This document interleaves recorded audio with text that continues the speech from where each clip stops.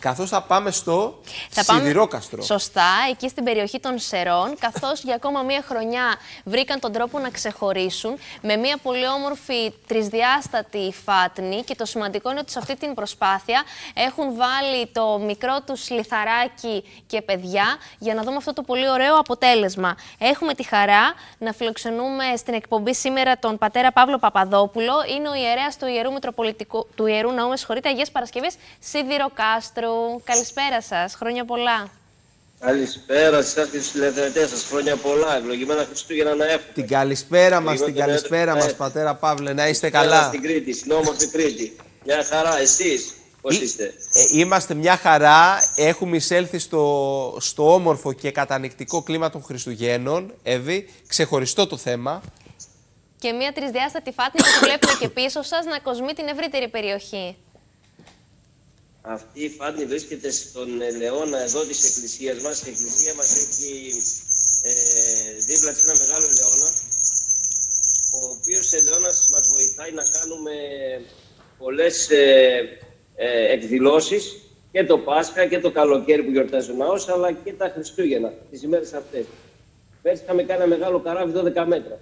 Φέτος φτιάξαμε αυτή την ε, φάτη με τη βοήθεια εθελοντών, με τη βοήθεια πολλών παιδιών τα οποία δημιουργή- φτιάξαν και κάποιες εκδηλώσεις που είχαμε χθες, χριστουγεννιάτικες, με ιστορίες, κάλαντα γύρω από φωτιές εδώ στη φάτη από γύρω.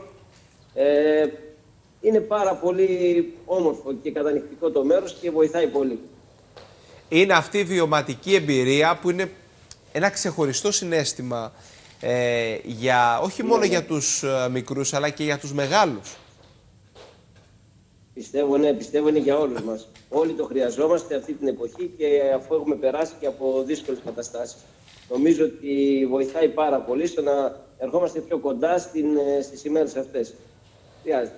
Η εικόνα πάντα βοηθάει. Πατέρα Παύλε, το μήνυμα των Χριστουγέννων παραμένει επίκαιρο και στις μέρες μας. Θα ήθελα λίγο να, να αναφερθούμε και σε αυτό το κομμάτι.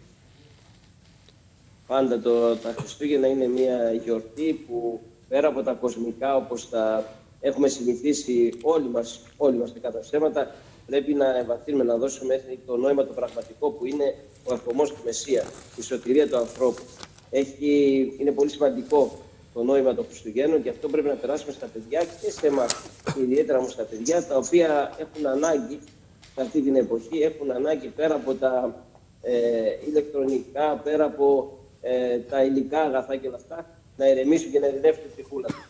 Εκεί είναι το πρόβλημα. Να ειρηνεύσουμε, να κάνουμε την ψυχή μας έτσι ε, μία φάτνη που να αποδεχθεί τη ζεστασιά αυτή του, ε, του τεθέντος ε, Ιησού. Για να Είναι εστιάσουμε... πολύ σημαντικό. Πολύ σωστά και έτσι θέλω να κλείσουμε και τη συζήτηση. Να εστιάσουμε λίγο στη Φάτνη από πίσω. Να την προσεγγίσουμε Βέβαια, λίγο. θα- Για να δούμε λίγο. Έχει από πάνω ένα μεγάλο αστέρι την ε, ε, χτυπάει και αν περάσετε από μέσα έτσι, είναι ένας βράχος, ξέρετε, ο οποίος ε, το Πάσχα τον ε, φτιάξαμε ιδιαίτερα έτσι για να κάνουμε τον τάφο του Χριστού που βγάλαμε από εδώ το Άγιο Φως. Οπότε μας βοήθησε πολύ αυτό, η κατασκευή όλη, ε, αν θέλετε να δείτε και έτσι από έξω όπως είναι, η κατασκευή το όλη του βράχου αυτού που φτιάξαμε από χαρτόνι είναι όπως βλέπετε και με κόλλα πλακιδίων που φτιάξαμε τα παιδιά. Και είναι στέρι, δεν παθαίνει και στη βροχή τίποτα. Και μας βοήθησε πολύ στο να φτιάξουμε τώρα την ε, ζεστή αυτή φάτη. Οι εντυπώσεις εκεί των Όχι. παιδιών γενικά και όλων όσων βρίσκονται, τι σας λένε; Έρχονται πολλοί, τη βλέπουν, ε, μπαίνουν μέσα τα παιδιά, οι γονείς να εξηγούν. Είναι, είναι πάρα πολύ καλές εντυπώσεις, πάρα πολύ καλές. Τους έχουμε συνηθίσει άλλωστε, γιατί σας είπα και κάθε χρόνο φτιάχνουμε κάτι. Πέρσι το καράβι φτιάξαμε, ήταν πάρα πολύ ωραίο. Ε, στη διαδρομή, όπως έρχεστε στην εκκλησία, τώρα φυσικά δεν μπορώ να σας το δείξω, ε, είναι μεγάλες ε, τρισδιάστατες αφήσει που έχουν τα κάλαντα από την Κρήτη, από το Πόντο, από τη Θράκη. Έτσι ώστε ερχόμενος ο κόσμος προς την εκκλησία να ε, φέρνει στο μυαλό του, ειδικά οι μεγαλύτεροι, γιατί είπαμε για όλους χρειάζονται αυτές οι γιορτές, να φέρνουν στο μυαλό τους και τα παιδικά τους χρόνια. Που ξέραν τα κάλαντα. Μάλιστα. Έτσι, πολύ όμορφες εικόνες.